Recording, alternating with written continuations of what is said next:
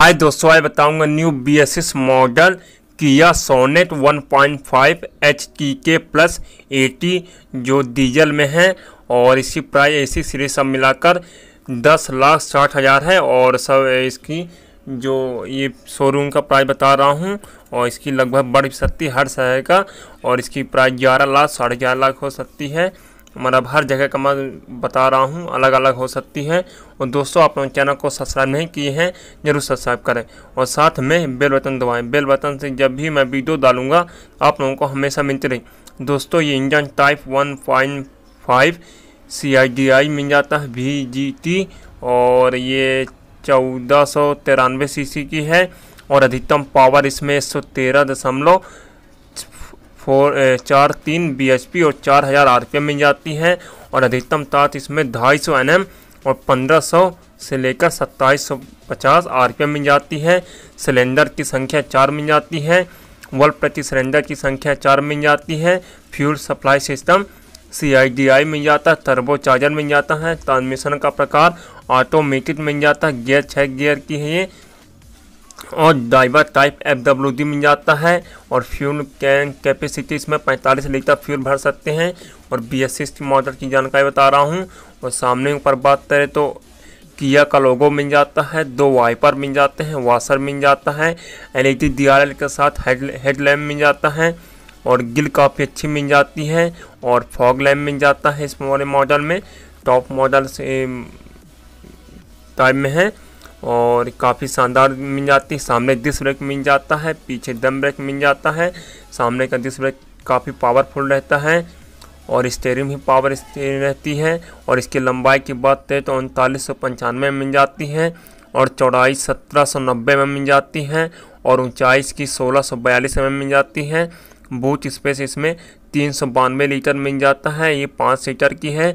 Wheel base इसमें पच्चीस सौ में मिल जाता है। पावर स्टेयरिंग मिल जाती है पावर विंडो फ्रंट मिल जाता है एडजस्टेबल स्टेयरिंग मिल जाती है एयर कंडीशन काफ़ी अच्छा मिल जाता है हीटर मिल जाता है ड्राइवर एयर बैग मिल जाता है पैसेंजर एयर बैग मिल जाता है जो काफ़ी वो रहती है और किया का लोगो मिल जाता है स्टेयरिंग के पास और कॉल ऑन कॉल करने के लिए मिल जाता है हेडलैम्प के लिए मिल जाता है वाइपर के लिए मिल जाता है और वाशर के लिए मिल जाता है और स्पीड और फ्यूल के लिए मिल जाता है और ड्राइवर सीट एडजस्ट कर सकते हैं। इस सीट विंडोज़ में ग्लास अप डाउन करने के लिए मिल जाता है, पावर लॉक अनलॉक मिल जाता है, पूरे कंट्रोल स्विच मिल जाते हैं ड्राइवर सीट को, और वन लीटर बॉटल होल्डर मिल जाता है, थोड़ी और स्पेस मिल जाती है ड्रॉपिक काफ़ी अच्छी मिल जाती है, और एसी सिस्टम मिल जाता है, बारह वोल्ट चार्जर मिल जाता है म्यूज़िक सिस्टम मिल जाता है, और यूएसबी चार्जर मिल जाता है। और एसी रिमोट से नहीं तो वहाँ से क्लिक करके ऑन करना पड़ेगा। और जो काफ़ी शानदार मिल जाती है छः गियर की है हैंड ब्रेक मिल जाता है, थोड़ी और दो मीडियम साइज़ बॉटल होल्डर मिल जाते हैं। पार्किंग सेंसर पीछे ही मिल जाता है आगे नहीं मिल पाता।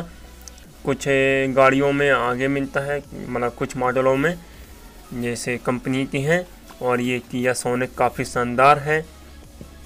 और पीछे साइड बात है तो बारह वोल्ट तक चार्जर मिल जाता है यू यूएसबी चार्जर उस पर आप इनपुट करवा सकते हैं एसी सिस्टम मिल जाता है और बीच में कप होल्डर मिल जाते हैं दो और डोर में glass up glass up down करने के मिल जाता है और है वाटर होल्डर मिल जाती है थोड़ी वन लीटर और इस पर थोड़ी मिल जाती है, दोनों साइड सीट मेट मिल जाता है, सर साइज़ बात करें तो किया का लोगो मिल जाता है पार्किंग सेंसर मिल जाता है सोने की बेजी मिल जाती है और H T K plus A T की बेजी मिल जाती है और एंटीना मिल जाता है और पार्किंग सेंसर मिल जाता है और सनरूफ इस वाले मॉडल में मिल जाता है और मून रूफ नहीं मिल पाता और रूफ कैरियर नहीं मिल पाता इस वाले मॉडल में। दोस्तों, मैं आशा करता हूँ यह जानकारी आप लोगों को पसंद आई होगी। अब मिलते हैं अगले वीडियो में। जय हिंद, जय भारत।